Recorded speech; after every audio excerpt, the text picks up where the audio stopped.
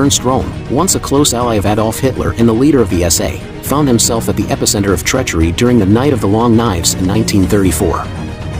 Röhm's ambition to merge his 2 million strong SA with the German army, thus becoming its leader, was seen as a direct threat to Hitler's supremacy and the established military elite. On June 30th, Röhm was arrested and given a chilling choice by Hitler himself, suicide or execution. Röhm defiantly responded, if I am to be killed, let Adolf do it himself. With Röhm refusing to commit suicide, he was shot and killed in his cell by SS officer Michael Lippert and Theodor Eicke, the future commander of the Dachau concentration camp.